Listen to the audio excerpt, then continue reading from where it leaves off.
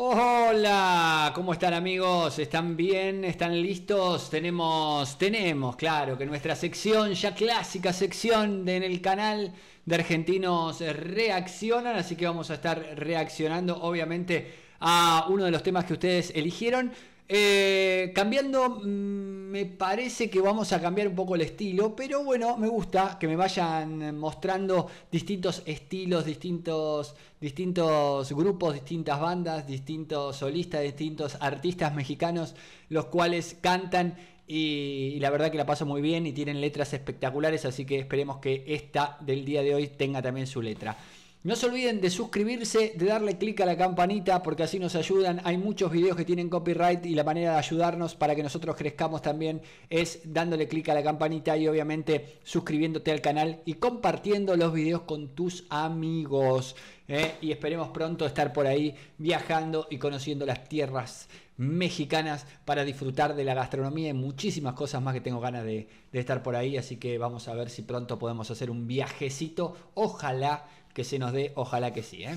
Bueno, tenemos video, tenemos reacción, no perdemos el tiempo, vamos a ver este video que nos dijeron que está muy, pero muy bueno y lo recomendaron ustedes.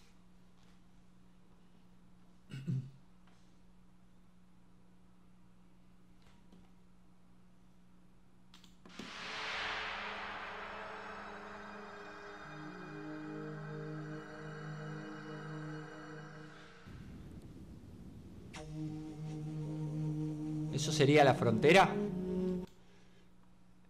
¿Eso es eh, frontera? Chicos, me van poniendo ahí, ¿eh? Quiero entender bien el video. Me parecía cuando, cuando arrancaba, cuando arrancaba el, el video.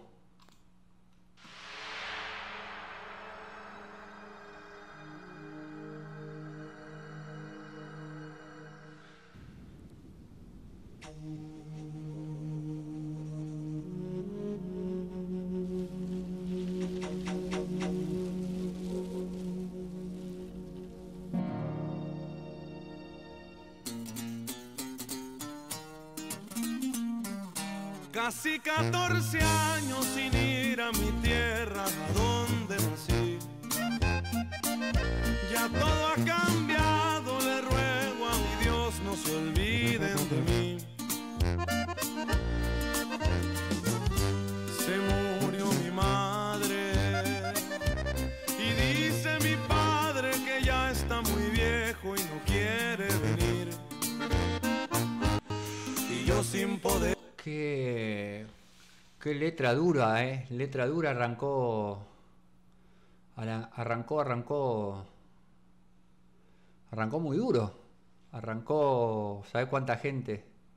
La gente indocumentada que pasó y que ahora no puede volver a su país. Qué increíble, ¿eh? No volver a ver a tus familiares. Qué situación. Y que les debe pasar a muchísima gente. Wow, qué tema y qué letra dura. Arrancó, arrancó muy duro. Le ruego a mi Dios no se olviden de mí. Se murió mi madre y dice mi padre que ya está muy viejo y no quiere venir. Y yo sin poder ir,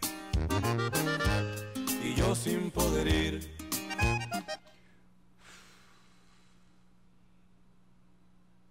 Me toca de cerca, pero no por el tema de indocumentación, sino porque estoy fuera del país y tengo familiares. Yo estoy viviendo en Brasil y me encantaría volver a Argentina, por ejemplo, para... Perdón. Para ver a mi hijo, que hace mucho que no lo veo. Es difícil estar fuera de, tu tierra y tener muchas ganas de, de ver a tus familiares y, que te perdés momento y que te tuviste que ir por para estar un poco mejor. Les pido disculpas.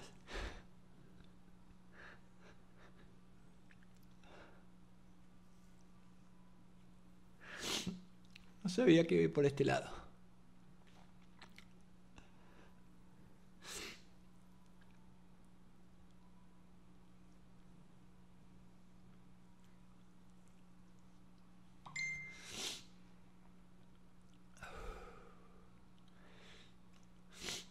Perdón.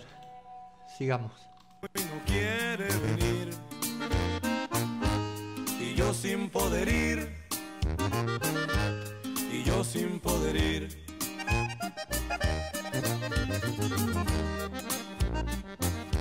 Trabaje y trabaje, tengo muchos días que no miro el sol. Mis hijos son grandes y no les entiendo, no hablan español. Sentido miedo. Aquel que no ha visto una camioneta de migración. Una deportación. Una deportación. Qué situaciones difíciles que se viven, por Dios. eh. En este caso con, con la gente que fue indocumentada y que ahora no puede volver a su casa y que no puede ver a sus familiares. Qué terrible que debe ser. Yo por ahí lo vivo desde otro lugar, pero bueno, la letra me tocó y me, me movió un montón de cosas. De botitas y sombrero me miran seguido por el freeway. Jardinero, cocinero, igual me la rifo, dirán anyways. Y aunque me miren pa' abajo, la cara levanto empinándome un bote. Como quiera soy amigo y también mexicano, mexicano hasta el tope. ¡Viva México! Y con mucho cariño, de parte calibre 50, corrido para toda la raza.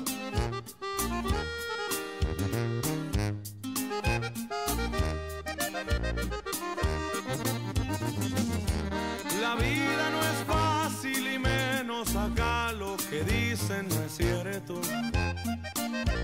No más de acordarme las miles de cruces que viene el desierto.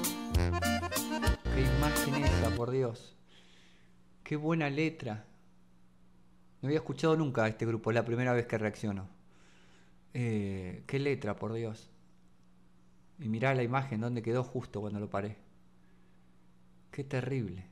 ¡Qué terrible! ¡Qué terrible vivir eso! Y cuánta gente la vive. Y ojalá mucha gente pueda volver de alguna u otra forma. ¡Qué letra! Las noches son tristes, pensando y pensando en los que se quedaron, se me pasa el tiempo. Y en ver a mi viejo, y en ver a mi viejo.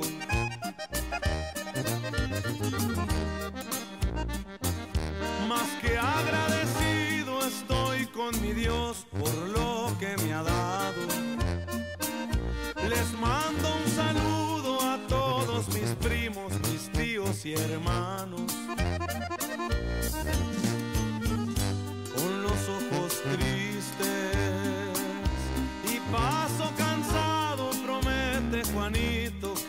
visitarlos y poder abrazarlos y poder abrazarlos. De botitas y sombrero me miran seguido por el freeway. Jardinero, cocinero, igual me la rifo, dirán anyways. Y aunque me miren pa' abajo, la cara levanto empinándome un bote. Como quiera soy amigo y también mexicano, mexicano hasta el tope.